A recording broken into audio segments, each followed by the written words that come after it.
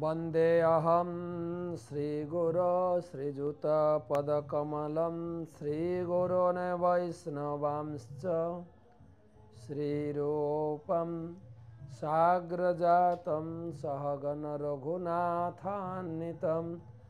तं सजीवं सादयितं सावधूतं परिजनसहितं कृष्णचैतन्यदेवम् श्री राधा कृष्ण पादन सहगन ललिता श्री विशाखानितांश्च नम ओं विष्णुपादाय कृष्णप्रेष्ठाय भूतले। श्रीमते भक्तिवेदान्त स्वामी नितिनामिने नमस्ते सारस्वते देवे, गौरवाणी प्रचारिणे। निर्विशेषशून्यवादी पाश्चात्यदेशतारिणे। जय श्रीकृष्ण चैतन्य, प्रभु नित्यानन्द, श्री अद्वैत गदाधर। श्रीवासदि, श्रीगौरभक्तबिन्द। हरे कृष्ण हरे कृष्ण कृष्ण कृष्ण, हरे हरे। हरे राम हरे राम राम राम, हरे हरे। ॐ नमो भगवते वासुदेवाय। ॐ नमो भगवते वासुदेवाय। नारायणं नमस्कृत्य। नरं चैव नरोत्तमं। देवीं सरस्वतीं व्यासं। ततो जाय उदीरयेन्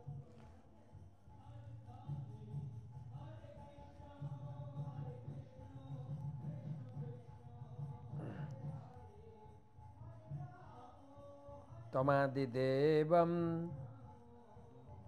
करुणानिधानं तमालवर्णं सुहितावतारम् अपारसंसारं समुद्रसेतुं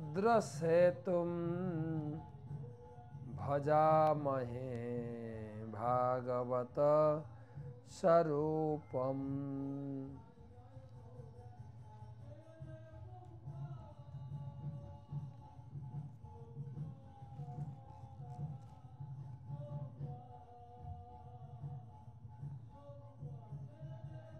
গ্রন্থরাজ শ্রীমদ্ ভাগবত মহাপুরাণ পঞ্চম স্কন্ধ, চতুর্থ অধ্যায়, অষ্টাদশ শ্লোক, আঠারো। গুরুদেবের চরণে প্রণাম নিবেদন করে আমরা পাঠ শুরু করছি। নম ওং বিষ্ণুপাদায় কৃষ্ণ পৃষ্ঠায় ভূতলে। শ্রীমতে জয় পতাকা স্বামী নীতি নামিনে। নম আচার্য পাদায় নিতাই কৃপা প্রদায়িনে গৌর কথা ধামদায় নগর গ্রাম তারিণে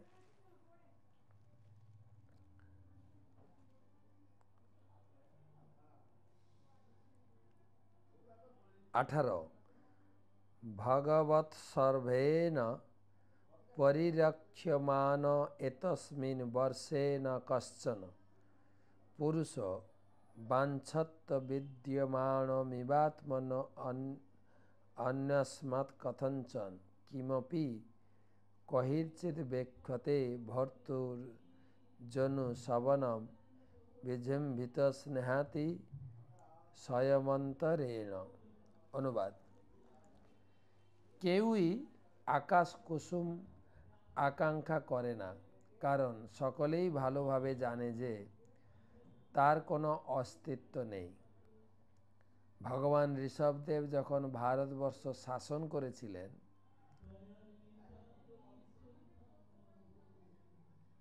তখন একজন সাধারণ মানুষও কোনো সময়ে অথবা কোনোভাবে কোনো কিছুর আকাঙ্ক্ষা করতো না। অর্থাৎ সকলেই পূর্ণরূপে প্রসন্ন ছিল এবং তাই কারোরই কোনো কিছুর চাওয়ার প্রয়োজন ছিল না। সকলেই রাজার প্রতি অত্যন্ত স্নেহশীল ছিল এবং যেহেতু তাদের সেই, এই স্নেহ সর্বদা বর্ধিত হচ্ছিল তাই তাদের আর অন্য কোনো কামনা ছিল না। অর্থাৎ ঋষভদেবের রাজত্বকালে প্রজারা সুখী, সমৃদ্ধি ছিল। তাৎপর্য। বাংলায় ঘোড়ার ডিম কথাটা ব্যবহার হয়। যেহেতু ঘোড়া কখনো ডিম পাড়ে না, তাই ঘোড়ার ডিম শব্দটির কোনো অর্থ নেই। সংস্কৃতে খ পুষ্প শব্দটির ব্যবহার হচ্ছে, যার অর্থ হচ্ছে আকাশ কুসুম। আকাশে কোনো, কখনো কোনো ফুল ফোটে না। তেমনি কেউ খ পুষ্প মানে ঘোড়ার ডিম সম্বন্ধে আগ্রহী নয়। মহারাজ ঋষভদেবের রাজত্বকালের জনসাধারণ এমনই প্রাচুর্যের মধ্যে ছিল যে তাদের কখনো কোনো কিছু চাইতে হতো না। মহারাজ ঋষভদেবের সুশাসনের ফলে জীবনের সমস্ত প্রয়োজনীয়তাগুলি পর্যাপ্ত পরিমাণে সরবরাহ হতো। তার ফলে সকলেই পূর্ণ প্রসন্নতা অনুভব করত এবং তাদের কোনো অভাবই ছিল না। ভগবদ্গীতা হচ্ছে আদর্শ সরকারের রাজ্য শাসন। সেটি হচ্ছে সরকারের আদর্শ রাজ্য শাসন। কুশাসনের ফলে যদি রাজারা অসুখী থাকে, তাহলে রাষ্ট্র নেতাদের নিন্দা করা যায়। এই গণতন্ত্রের যুগে মানুষেরা সাম্রাজ্যবাদকে অপছন্দ করে। কিন্তু এখানে আমরা দেখতে পাচ্ছি সমগ্র পৃথিবীর সম্রাট কীভাবে বৈদিক নীতি অনুসারে প্রজাদের জীবনের সমস্ত প্রয়োজনগুলি সরবরাহ করে তাদের পূর্ণরূপে সন্তুষ্ট রেখেছিলেন তার ফলে ভগবান ঋষভদেবের রাজত্বকালে সকলেই সুখী ছিল।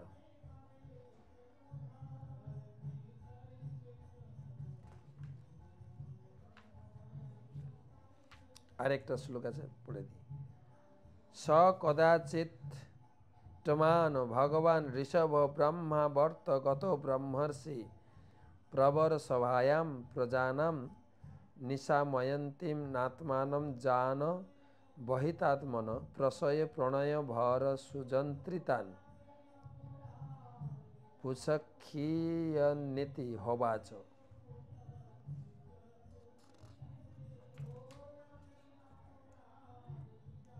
কোনো এক সময় ভগবান ঋষভদেব ভ্রমণ করতে করতে ব্রহ্মাবর্তে এসে উপস্থিত হলেন, সেখানে শ্রেষ্ঠ মহর্ষিদের সভায়। তার পুত্রেরা অত্যন্ত মনোযোগ সহকারে ব্রহ্মর্ষিদের উপদেশ শ্রবণ করছিলেন। সেই সেই সভায় সমস্ত প্রজাদের সম্মুখে তার ঋষভদেব তার পুত্রদের শিক্ষা দিয়েছিলেন। যদিও তারা ছিলেন সংযত চিত্ত এবং প্রণয় বিনয়াদি গুণান্বিত। তিনি তাদের উপদেশ দিয়েছিলেন যাতে ভবিষ্যতে তারা খুব ভালোভাবে পৃথিবী শাসন করতে পারেন। তিনি বলেছিলেন, পরের অধ্যায়ে পুত্রদের উদ্দেশ্যে দিব্য উপেদশা বলি কেবল পুত্রদের নয় সারা সমাজের জন্য। অতীব সুন্দর। সে কথা আমরা পরের অধ্যায়ে পড়ব, পঞ্চম অধ্যায়ে। তাৎপর্য, কেউ যদি দুঃখ দুর্দশাপূর্ণ এই জগতে শান্তিপূর্ণভাবে বাস করতে চায় তাদের কাছে ভগবান ঋষভদেবের উপদেশ অত্যন্ত মূল্যবান। পরবর্তী অধ্যায়ে ঋষভদেবের তার পুত্রদের সেই অমূল্য উপদেশগুলি দান করেছেন। এটি ভগবান ঋষভদেব চরিত্র কথা নামক শ্রীমৎ ভাগবত পঞ্চম সেকন্দের চতুর্থ অধ্যায় বক্তব্যের তাৎপর্য। তো কালকে শুরু করব পঞ্চম অধ্যায়।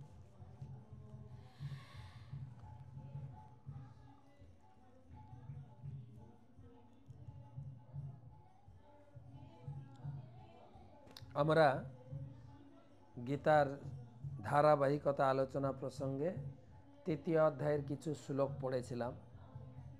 তৃতীয় অধ্যায়ের সেই মাহাত্মে আলোচনা করা হচ্ছিল, কৌশিক নামে এক ব্রাহ্মণ,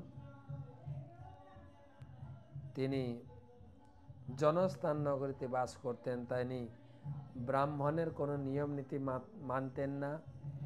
এবং পাপাচারের দিন অতিবাহিত করতেন এবং তার টাকা পয়সা শেষ হয়ে যায়।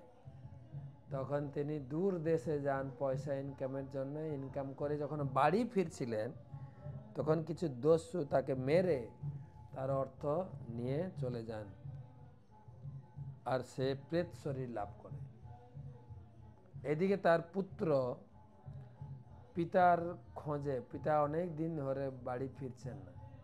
পিতার সন্ধানে বেরিয়ে বিভিন্ন জায়গায় ভ্রমণ করে সমস্ত লোককে জিজ্ঞাসা করলেন, আমার পিতাকে কি আপনি দেখেছেন? পিতার এক বন্ধু তখন বললেন যে, তোমার পিতা মারা গেছেন, তাকে হত্যা করা হয়েছে। তখন সে চিন্তা করল, আমি তাহলে পিতার উদ্দেশ্যে, আমি পিণ্ডদান করার জন্য আমি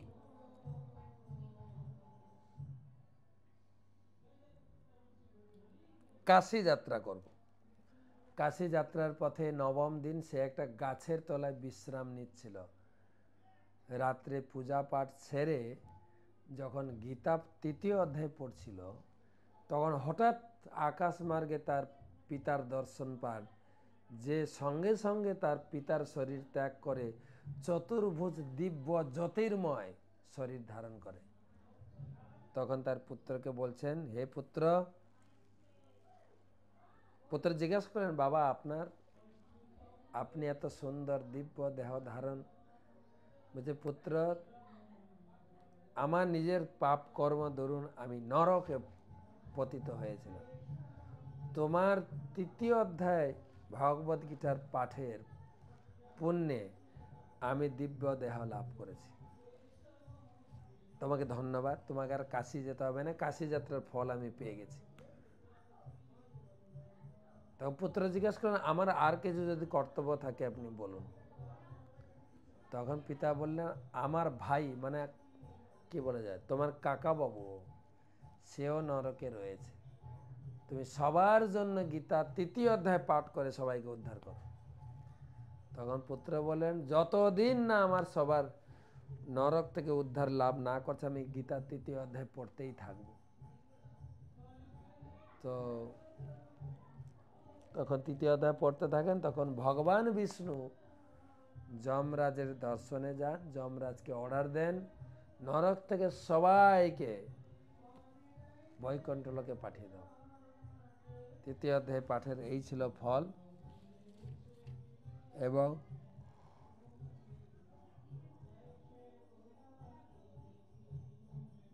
প্রতিদিন তৃতীয় অধ্যায় পাঠ করি তো পড়ি তৃতীয় অধ্যায়। আমরা তৃতীয় অধ্যায়ের দশটা শ্লোক পড়েছিলাম।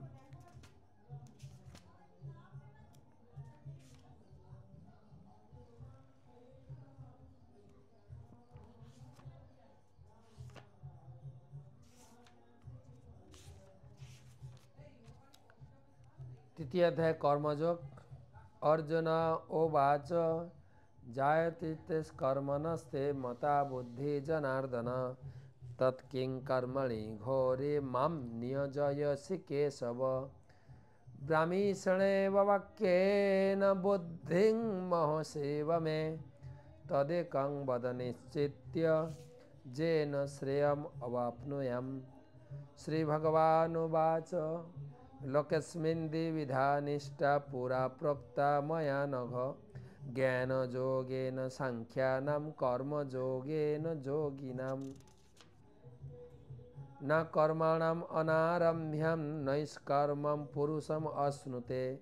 न च सन्नसनादेव सिद्धिं समधिगच्छति। न हि कश्चित् खणमपि जातुत्तिष्ठत कर्मकृत्। कार्यते अवस कर्म सर्वप्रकृतिजैगुणैः कर्म इंद्रियाणि संयम्य जस्ते मनसा स्मरण इंद्रियार्थन विमूढ़ात्मा मिथ्याचार सयुच्यते जस्तीन्द्रियाणि मनसा नियमा भरते अर्जुन। कर्म इंद्रिय कर्म जोग असक्त स विशेषते नियतं कुरु कर्म तम। कर्म जायो हि कर्मण शरीर जात्रा चतेन प्रसिद्धेत अकर्मण यज्ञार्थात् कर्मण नत्र लोकायम कर्म बंधन तदर्थम कर्म कौंतेय मुक्त संज्ञ समाचर। सहजज्ञा पूजा शिष्ट पूर्वाच प्रजापति, अनेन प्रसवीश धमेश। বহতিষ্ঠ কামধুক দেবান, এই এগারো পর্যন্ত আমরা পড়েছিলাম। দেবান ভাবয়তানেন তে দেবা ভাবয়ন্তু পরস্পরম ভাবয়ন্ত, শ্রেয় পরম বাপসথ তো ভগবান প্রথম শ্লোক থেকে নবম শ্লোক পর্যন্ত প্রতিষ্ঠা করেছেন। কর্ম আমাকে করতেই হবে, আর সেই কর্ম কেবল ভগবানের সন্তুষ্টি বিধানের জন্য কর্ম করা উচিত। এছাড়া আর কোনো কাজ নেই। তো এগারো নম্বর শ্লোকে মানে দশ নম্বর শ্লোকেও বলেছেন যে আমি এই জগৎ যে সৃষ্টি করেছি, সবার ভরণ পোষণ পর্যাপ্ত পরিমাণে আমি দিয়ে পাঠিয়েছি। পর্যাপ্ত। কি? না যজ্ঞ সহ আমি প্রজা সৃষ্টি করেছি। যজ্ঞ করলে মেঘ তৈরি হবে, মেঘ হলে বৃষ্টি হবে, বৃষ্টি হলে অন্ন হবে।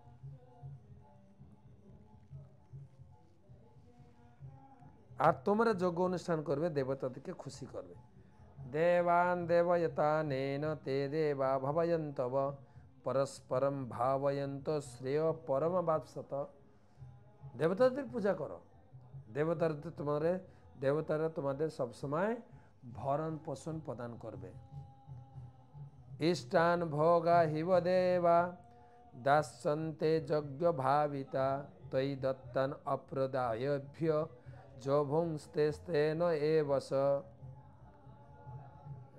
আর তোমরা যজ্ঞ করে দেবতাদেরকে সন্তুষ্ট করবে। দেবতারা ইষ্টান ভগান হিব দেবা। দেবতারা তোমাদের যা দরকার দেবতারা দেবে। কিন্তু একটা কন্ডিশন দেবতাদেরকে নিবেদন করে খাবে কিন্তু। নাহলে তুমি কিন্তু চোর। এটা একটা শিষ্টাচার। আমি বাড়িতে দেখেছি, আমার মাকে যখন দাদু মানে মায়ের শ্বশুর বা বাবা, মায়ের স্বামী কখনো বাজার থেকে ধরো পুজোর সময় নতুন শাড়ি বা অন্যান্য কোনো সময় মায়ের শাড়ি নেই, শাড়ি কাপড় কিনে দিতেন। শাড়িটা পরে প্রথম শ্বশুরমশাই, শাশুড়ি, স্বামীকে প্রণাম করতেন। তুমি কৃপা করে এটা দিয়েছ, উপহার। ঠিক সেই রকম দেবতারা দিচ্ছেন, দেবতাদেরকে নিবেদন করে খাবেন। এখন আপনি প্রশ্ন করতে পারেন, আমরা তো ভগবানকে নিবেদন করি, দেবতাকে নিবেদন করি না তো? না, দেবতাদেরকে নিবেদন করে একটা জেনারেল নিয়ম দিলেন। প্রত্যেক গ্রামে গ্রাম্য দেবতা আছে। আমাদের গ্রামে শীতলা ঠাকুর ছিল। আপনাদের কারও গ্রামে শিব ঠাকুর, মনসা ঠাকুর, কালী ঠাকুর বা বিষ্ণু ঠাকুর আছে। যেখানে যে গ্রাম্য দেবতা তাকে নিবেদন করে। হ্যাঁ প্রথম অন্ন উঠবে, নবান্ন অন্ন নিবেদন হবে। প্রথম প্রথম জমির ধানের চালটা প্রথম যাবে ঠাকুর বাড়িতে, ঠাকুরকে নিবেদন হয়ে প্রসাদের মাধ্যমে আমাদের অন্ন খাওয়া শুরু হবে। গাছের সবজি, গাইর প্রথম দুধ, এগুলো সব নিয়ম ছিল কিন্তু। দেবতাদের দিচ্ছেন, দেবতাদেরকে নিবেদন করে খেতে সঙ্গে সঙ্গে ভগবান বলেন ভক্তরা কি করবে? ভক্তরা কি দেবতাদেরকে নিবেদন করবে? তেরো নম্বর ছিল যজ্ঞা শ্রেষ্ঠ সিনসন্ত মচ্চন্তে সর্বকিল্লিশই ভুমতে তে তগং পাপা যে পচন্তি আত্মকারণাৎ কিন্তু ভক্তরা ভক্তরা তারা কেবল আমাকে নিবেদন করবে যজ্ঞের উদ্দেশ্যে আমাকে নিবেদন করে খাবে। তাহলে সে সমস্ত কলুষ থেকে, পাপ থেকে মুক্ত হবে। কেন আমাকে নিবেদন করবে? আমি দেবতাদেরকে দিয়ে তার অভাব পূরণ করছি, প্রয়োজনীয় প্রয়োজনীয় বস্তুসমূহ সাপ্লাই দিচ্ছে। কীভাবে? অন্যাদ ভাবতে ভূতানি খাদ্য পিরামিড।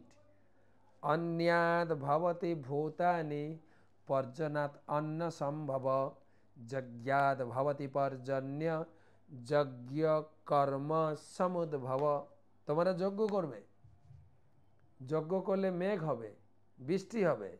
বৃষ্টি হলে অন্ন হবে, অন্ন হলে তোমরা বেঁচে থাকবে, আবার যজ্ঞ করবে। খাদ্য পিরামিড। আমি সব ব্যবস্থা করে রেখেছি, তোমার অভাবের কোনো প্রশ্নই নেই। আমাদের যজ্ঞ করছি না এখন শুধু অফিসে ছুটছি। অফিসের নাট বোল্ট খেয়ে থাকেন। অফিসে কখনো চাল, ডাল, গম তৈরি হয় না, নাট বোল্ট। খাদ্য লাগে কিন্তু আমাদের চাষ থেকে। কোনো কলকারখানাতে এক দানা চাল আর গম তৈরি হয় না। চাল, গম থেকে বিভিন্ন ভ্যারাইটিস রকমারি খাদ্য তৈরি হয়। ভগবান বলছেন, আরে যোগ্য করো। আর কিছু লোক যোগ্য করছে বলে এখনও বৃষ্টি হচ্ছে, অন্ন হচ্ছে, তাই তুমি খাচ্ছ।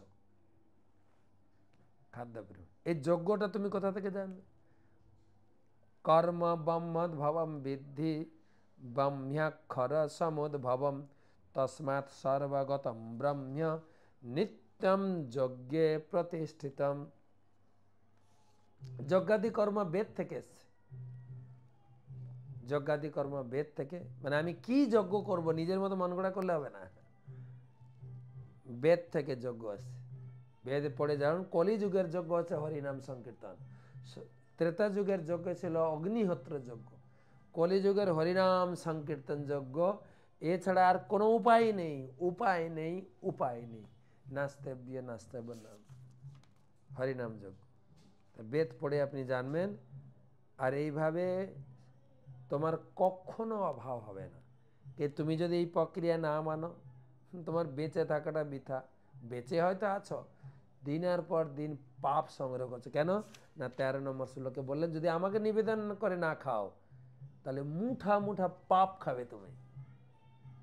পাপ। তেরো নম্বর শ্লোকটা দেখেন আরেকবার। ভমস্তে তে তঘং পাপা। যে আমাকে নিবেদন করে না খায়, সে কেবল পাপ খায়, পাপ। নিরামিষের ভিতরেও পাপ আছে। নিরামিষের ভিতরে। তাই ষোলো নম্বর এবং প্রবর্তিতম চক্রম নানুবর্তয়তি হজ, অঘায় ইন্দ্রিয় রাম মঘম পার্থ সজীবতী। হে অর্জুন, যে ব্যক্তি এই মনুষ্য জীবনে বেদের দ্বারা প্রতিষ্ঠিত যজ্ঞ অনুষ্ঠানের পন্থা অনুসরণ করে না, ইন্দ্র সুখে লিপ্ত সেই পাপী ব্যক্তি বৃথা জীবন ধারণ কে যদি বলে, আমি সব মানি না, আমি চাকরি করব খাব। তুমি একটা পাপি পাপি কোথাকার? কর্ম তোমাকে করতে হবে। কি কর্ম করবে? যজ্ঞে ঘি ঢালো।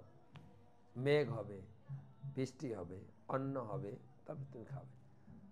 আবার পনেরো অধ্যায়ে আরও ডিটেলস বলবে তুমি অন্ন, অন্নের ভিতরে, গমের ভিতরে টেস্ট আমি দিচ্ছি। অন্নকে পাকানোর জন্য হ্যাঁ অন্নকে পাকানোর জন্য আমি অগ্নি দিয়েছি। তারপরে তুমি খাবে। এবার হজম করার জন্য আমি তোমার স্টমাকে তোমার পাকস্থলিতে বসে আছি, জঠর আগ্নি রূপে। সেখানে হজম করাবো। প্রতি মুহূর্তে ভগবানকে লাগবে। কর্ম তোমাকে করতে। এবারে অনেক সময় কি যারা যারা যারা কি বলে যায় আত্মতৃপ্ত, আত্মারাম, তাদের কিছু কর্ম না করলে হয়। ভগবান বলছেন যশাত্মরতিরেব সত্যাত্মতৃপ্ত মানব। আত্মন্যেব চ সন্তুষ্ট তস্য কার্যম না বিদ্যতে যারা আত্মারাম তাদের কিছু কাজ না করলে হবে।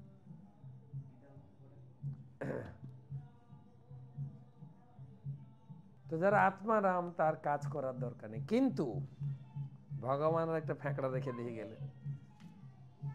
কি? নৈব তস্য কৃতেনার্থ না কৃতে নেহ কশ্চন। ন চাষ সর্বভূতেষু কশ্চিৎ অর্থ অবাপ ব্যাপাশ্রয়। ঠিক আছে যারা আত্মারাম, আত্মাতে রমণ করে, তার কাজ করার দরকার নেই, কিন্তু কাজ না করারও কোনো কারণ নেই। তাকেও কাজ করতে হবে, কেন? তসমাৎ অশক্ত সততম কার্যম কর্ম সমাচর। অশক্ত হি আচরণ কর্ম পরমাপনতি পুরুষ। সাধারণ লোক সংসারের প্রতি আসক্ত হয়ে, অফিসের প্রতি আসক্ত হয়ে, পরিবারের প্রতি আসক্ত হয়ে, আত্মীয় স্বজনের প্রতি আসক্ত দিন রাত খাটে। আর তুমি আত্মারাম ভগবানের প্রতি আসক্ত হয়ে খাটো। খাটতে তোমাকে হবে। ভগবানের সেবার জন্য। সাধারণ লোক বাড়ির জন্য খাটবে। তুমি ভগবানের জন্য খাটবে তোমার পরিবার নেই, তোমার পরিবার হচ্ছে ভগবান। লাভটা কি হবে? সংসারের প্রতি আসক্ত তুমি বন্ধনে পড়ে যাবে। ভগবানের আসক প্রতি আসক্ত তুমি ধীরে ধীরে ঊর্ধ্বগতি লাভ করবে। আরেকটা কথা, কেন কাজ না করে তুমি থাকতে পারবে না? তাই চুপচাপ থাকবে কি কর? তাই ভগবানের জন্য কাটো। তোমার পরিবার নেই, পরিবারের আসক্তি নেই খাটো আরেকটা কথা কর্মন্নৈময়ী সংসিদ্ধিম আস্থিতা জনকাদয় লোক সংগ্রহ মেবাপি সংপশন কর্তুমারতি জনগাদী রাজারাও কর্মের দ্বারাই সংসিদ্ধি প্রাপ্ত হয়েছিলেন অতএব জনসাধারণকে শিক্ষা দেওয়ার জন্য তোমার কর্ম তুমি আত্মারাম তুমি সোসাইটির মহারাজ গুরুদেব তোমার অনেক শিষ্য আছে, তোমার না খাটলে হয়। কিন্তু তোমাকে জনসাধারণকে শিক্ষা দেওয়ার জন্য খাটতে হবে। নাহলে তোমাকে দেখে ওরাও অলস হয়ে যাবে। সাধারণ লোক যা করে, লোকে ফল করে পরে লোকে বলবে। যদ যদ আচরতি শ্রেষ্ঠ তত্তৎ এবৈতর জন সযৎ প্রমাণম করুতে, লোক তৎ অনুবর্ততে। সাধারণ লোক তাকেই অনুসরণ করে যারা জ্ঞানী, গুণী, বিজ্ঞ, প্রতিষ্ঠিত ব্যক্তি যা করে। যেরকম আমরা বাড়িতে ছিলাম, মঠে আসার আগে সিনেমা দেখতাম খুব। সিনেমাতে এক একজন হিরোর চুলের কাটিং আসতো। এটা বচন কাট এটা মিঠুন কাট বা নায়িকারা যেরকম ড্রেস পরতেন হ্যাঁ? হয়তো ব্লাউজ পরেছেন, হাত কাটা, সেটাই চালু হয়ে যাবে। তো শ্রেষ্ঠ ব্যক্তি যা করে সেটা তাই তুমি শ্রেষ্ঠ ব্যক্তি, তুমি আত্মারাম তুমি খাটো ভগবানের জন্য তোমাকে দেখে লোকে খাটবে। নাহলে তোমাকে দেখে অলস হয়ে যাবে লোকে। আমার গুরুদেবকে দেখেছি, যার সাতাত্তর হাজার শিষ্য, শিষ্যা। আর দিন রাত, এখন অসুস্থ হওয়া সত্ত্বেও দিন রাত, সকাল চারটা থেকে রাত্রি সাড়ে এগারোটা, বারোটা পর্যন্ত নন স্টপ কাজ করে চলেছেন পঁচাত্তর বছর বয়স। দিন রাত কাজ করছেন কাজ করছেন। রাত্রে শুয়ে শুয়ে ঘুমাতে ঘুমাতে জব করছেন। দেখাচ্ছেন? আমি অসুস্থ, আমার বয়স হওয়া সত্ত্বেও আমি ভগবানের সেবার জন্য অক্লান্ত পরিশ্রম করছি। তুমি করবে না কেন? বলো। আমরা দেখি একটা সুস্থ লোক এত কাজ করতে পারে না। কেননা জগৎকে শিক্ষা দেওয়ার জন্য। যত আচরিত শ্রেষ্ঠ। নামে পার্থাস্তি কর্তব্যম ত্রিশু লোকেশু কিঞ্চন নানা ব্যাপ্তম অবাপ্তম বর্তম এবচ কর্মণি। ভগবান কুড়ি নম্বর শ্লোকে বললেন, আরে আমার শ্বশুর মশাই জনক মহারাজ, তাকেও খাটিয়েছি। আর বাইশ নম্বর শ্লোকে বলছেন আমি নিজে আমার কি কাজ করা দরকার আমি তো ভগবান। আমি তো সব কিছুর ভক্তা। সব কিছু আমাকে নিবেদন করবে সবাই আমার খাটার দরকার নেই তো। কিন্তু দেখো, আমি তোমাদের তোমাদের বাড়ির ড্রাইভারই কাজ করছি। তোমাদের বাড়ির দূতের কাজ করছি। কেন? না লোকে অনুসরণ করবে আমাকে। করছে না লোকে? ভগবান এতগুলো গোপী নিয়ে রাসলীলা করেছেন। আমি কেন করব না? অনেকগুলো কেন বিয়ে করব না? ভগবান বললেন, আমিও অর্জুনের বাড়িতে ড্রাইভারি করেছি। করো। করো। দৃষ্টান্ত রেখে গেছে। তা আমার কিছু কাজ নেই তবু আমি কাজ করছি। আমি ভক্তের দাস হয়ে দিন রাত তোমাদের সেবা করে চলেছি। তাই জনসাধারণ যাতে যেমন একটা কাজ করবে, জনসাধারণ শিখবে, কাজ তোমাকে করতেই হবে। যদি হায়াম না বর্তে এম জাতু কর্ম না তন্ত্রিতা। মম বর্তমান বর্তমাতে মনুষা পার্থ সর্বত। সবাই আমাকে অনুসরণ করবে। আমি যদি কর্ম বন্ধ করে দিই, সবাই কর্ম বন্ধ করে দেবে। তাই আমিও খাটছি। জনগাদিরা যারা খেটেছেন, তোমাকেও কর্ম করতে হবে। ভক্তি করলেও তোমাকে বেশি করে কর্ম করতে হবে। ভগবানের সেবার বিধানে। উৎসিয়েদ উৎসিদেউরিমে লোকা ন কর্ম চেদম। শঙ্কর চ কর্তা সামু পহম না মীমা প্রজা। আমি যদি কর্তব্য কর্ম না করি, সারা লোক ও অলস হয়ে যাবে। তবে শক্তা কর্মাণ বিদ্যাংশ যথা কুরবন্তি ভারত কুর্জাত বিদ্যাং তথা শক্ত চেকুর শ্লোক সংগ্রহ। তাই বাইরের লোক যারা যে কাজে যুক্ত আছে, কর্মহীন করবে না কিন্তু। তার কর্মটাকে, খারাপ কর্ম থেকে ভগবতমুখী কর্মেতে ডাইভার্টেড পরিবর্তন করে দাও। কিন্তু তাকে বলা যাবে না দ্বীপ কর্ম ছেড়ে দাও।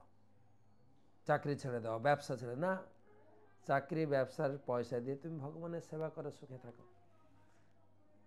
কর্ম ছাড়ানো যাবে না। অনেক লোক বলে, মহারাজ, আমার ভালো লাগে না, অফিস থেকে আমি সেই বিড়ির ধোঁয়া ভালো লাগে না, আমি চাকরিটা ছেড়ে দেবো। যে না কর্ম ছাড়লে আপনি আরও আরও বিভ্রান্ত হয়ে যাবেন। আপনার এনগেজমেন্ট থাকবে না, আপনার ইনকামও থাকবে না, দুটোই দরকার আছে।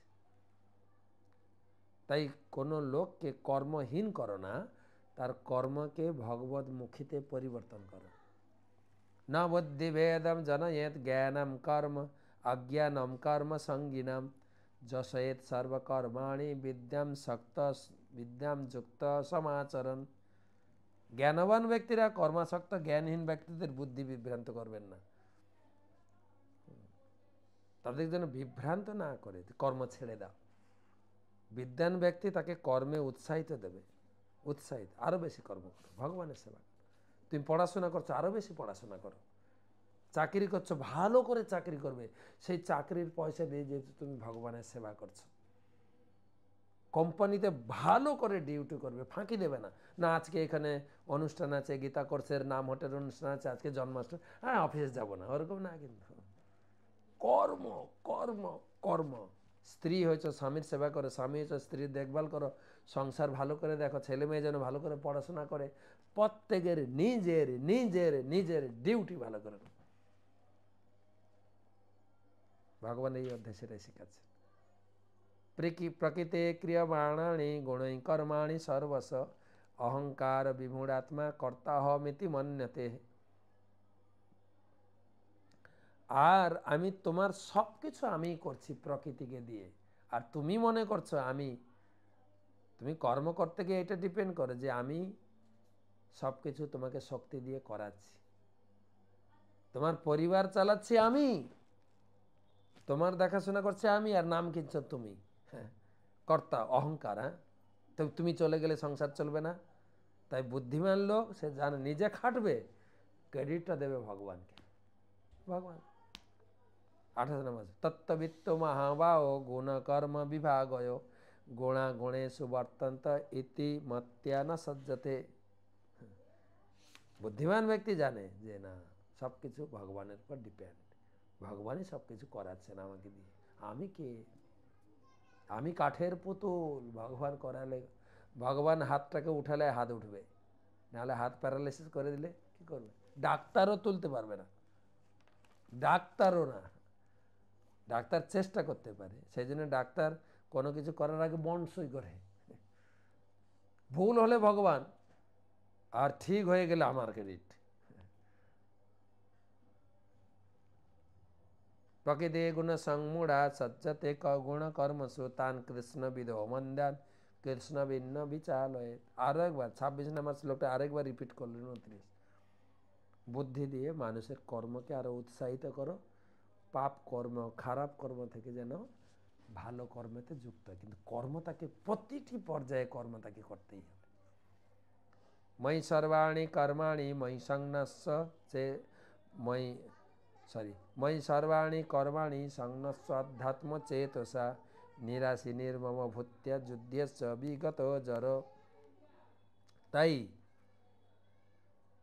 তুমি ভক্তি যোগ অনুশীলনের সাথে কর্ম করার জন্য উঠে দাঁড়াও তুমি ক্ষত্রিয় যুদ্ধ করার জন্য রেডি হও যে মে মতমিদম নিত্যম অনুতিষ্ঠন্তি মানবা শ্রদ্ধাবন্ত অনসূয়ন্ত মুচ্ছন্তে দেবী কর্মভি তুমি যদি আমার নির্দেশ অনুসারে শ্রদ্ধাবান ও মাৎসরহিত হয়ে আমার উপদেশ পালন করে যা যা আমি গাইডলাইন দিলাম, তাহলে তুমি ঠিক পথে থাকবে, তুমি বিচলিত হবে না।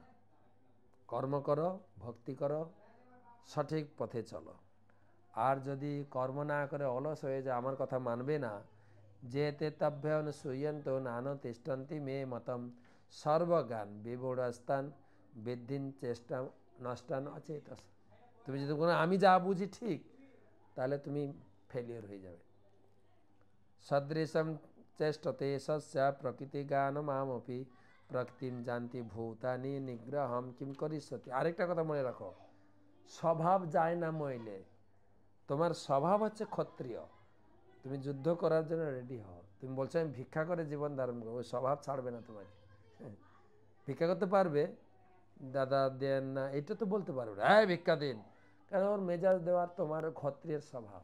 স্বভাব খুব জটিল কিন্তু। স্বভাব যায় না মইলে, ইজ্জত যায় না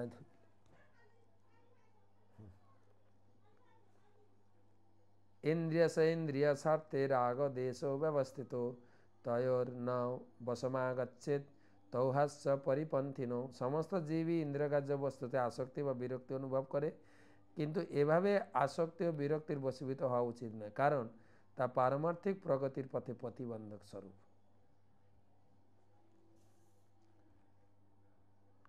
ইন্দ্রিয় বসীভূত স্বভাব স্বভাব।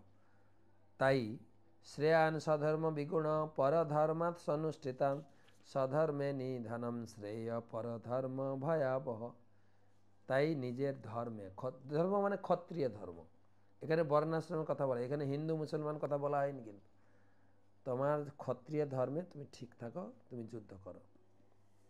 এবারে অর্জুন রাজি হলেন। অর্জুন জিজ্ঞেস করলেন, আরেকটা প্রশ্ন জিজ্ঞাসা করি, এ কর্ম করতে গিয়ে যে ভুল ভ্রান্তি হয়, পাপ হয়, এটা কেন হয়? কেউ তো পাপ করতে চায় না। বিবেকানন্দ দেবও বলেছেন যে, পাপিকে ঘৃণা করো না, পাপকে ঘৃণা করো। পাপটা ঘৃণিত, পাপ কেউ করতে চায়, কিন্তু যেন হয়েই যায়। এই ভয়ে লোকে কাজ করতে চায় না।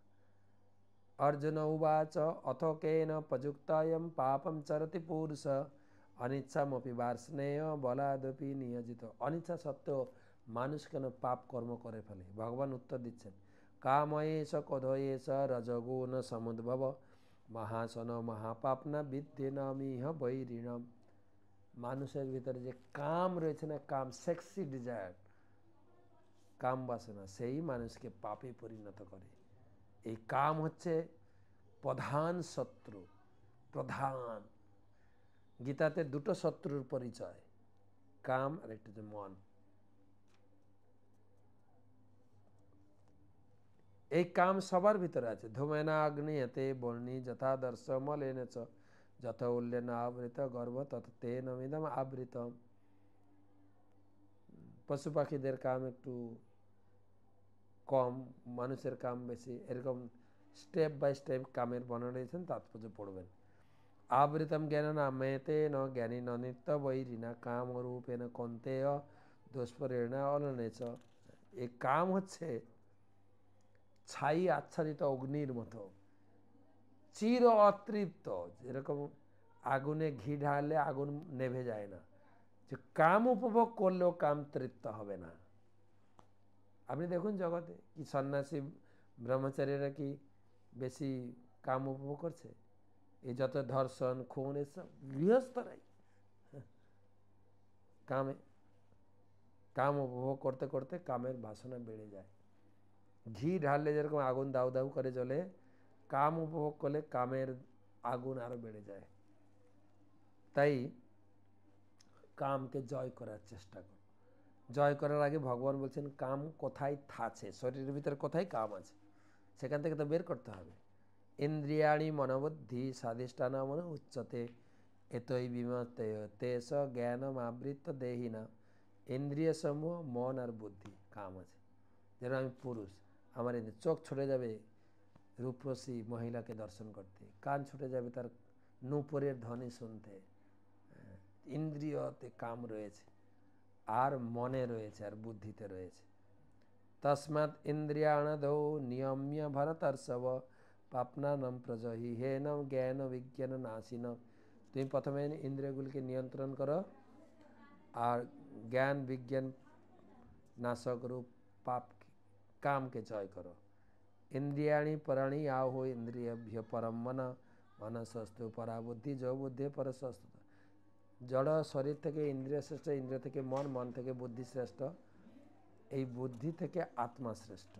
অতএব এবং বুদ্ধে পরম বুদ্ধিয়া সংস্তব্য আত্মনা আত্মনা জহি শস্ত্র মহাবাহ কাম রূপম দুরাসদম। তাই তুমি কি নিজেকে আত্মা এই জড় শরীর, ইন্দ্রিয় থেকে শ্রেষ্ঠ আত্মা বলে মনে করে তুমি দুর্জয় শত্রুরূপ কামকে জয় করো। তো এখানে তৃতীয় অধ্যায় সমাপ্ত হলো।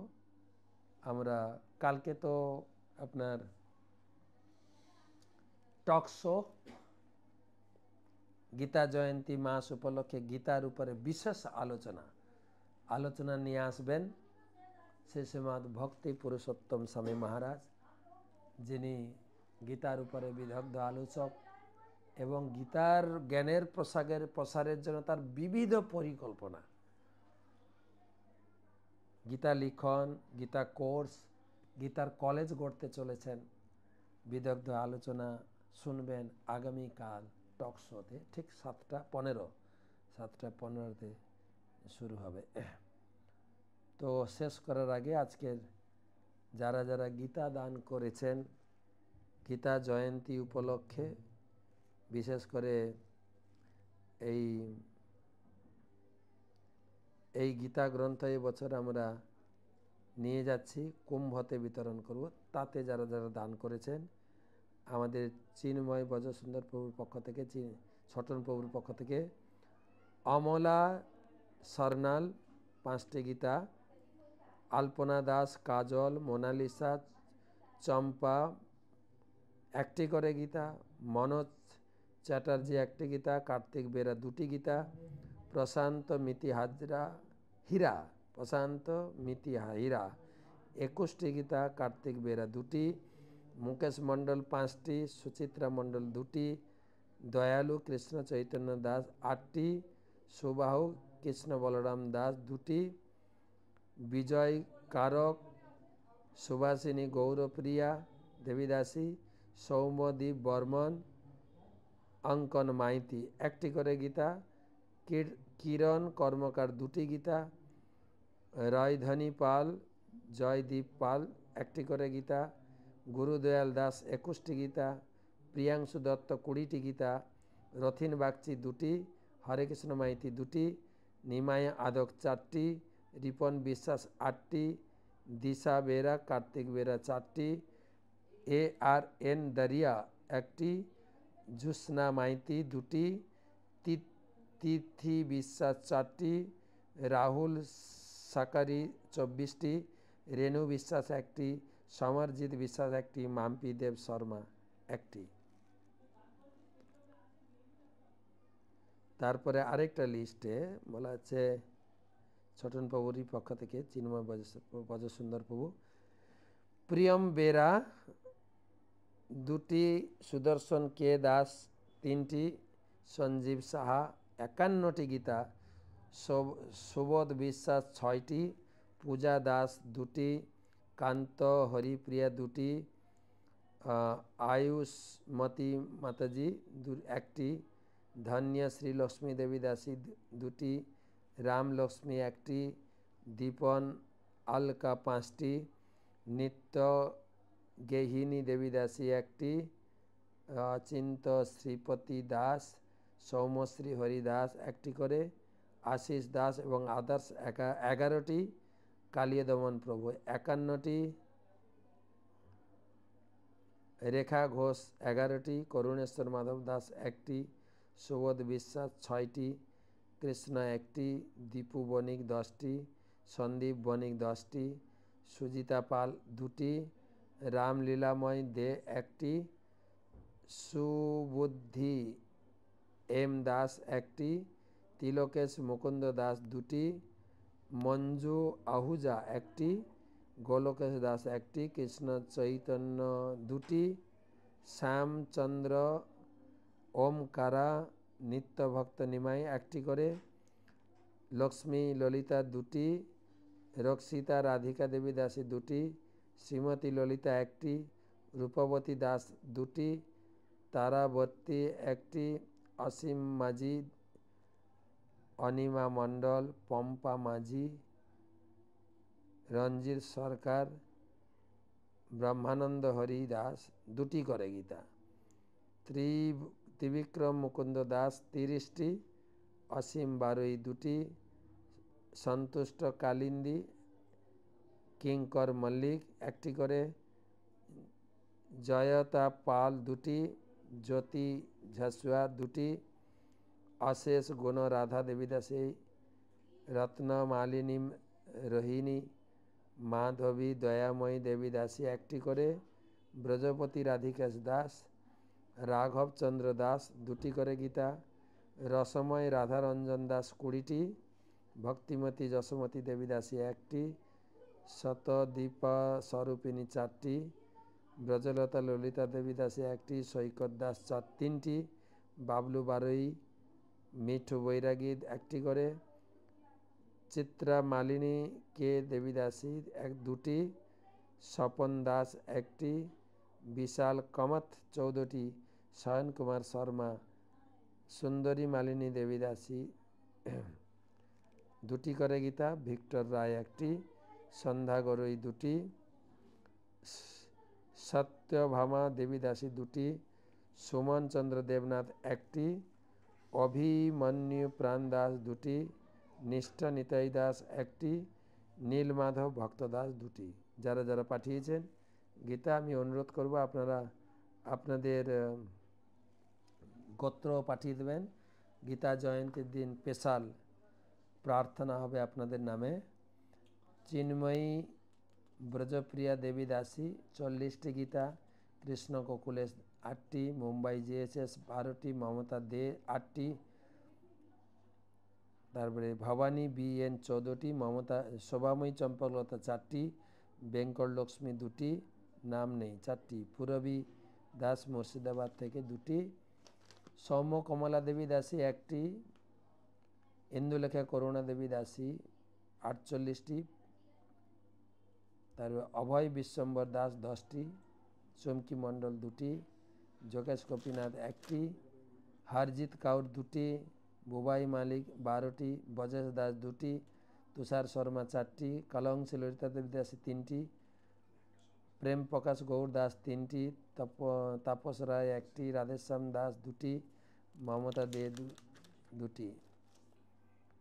হীরক সরকার একটি, পূজারিণী সাউ একটি পলি ঘোষাল ছয়টি, রূপা সেনগুপ্ত দুটি,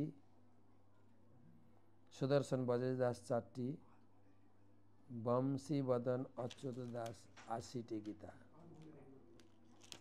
এই পর্যন্ত থাক আজকে। সবার জন্য ভগবানের কাছে প্রার্থনা জানাই আপনারা ভগবানের কৃপা লাভ করুন। আপনারা পারিবারিক এবং সামাজিক, ব্যক্তিগত জীবনে সুখে শান্তিতে থাকুক ভগবান। কৃষ্ণের কৃপায়, গীতা বক্তা ভগবান কৃষ্ণের কাছে এই প্রার্থনা রাখি। শুভরাত্রি। এবং আপনাদের জন্য একটু হরিনাম করে দিই। হরে কৃষ্ণ হরে কৃষ্ণ কৃষ্ণ কৃষ্ণ, হরে হরে হরে রাম হরে রাম রাম রাম, হরে। যারা যারা গীতা দান করবেন, আমার এই হোয়াটসঅ্যাপ নাম্বার যেখানে বোর্ডে দেওয়া আছে, এটা যোগাযোগ করবেন। Plus nine one, nine four, three four, seven six, zero four, zero two. ভালো থাকবেন।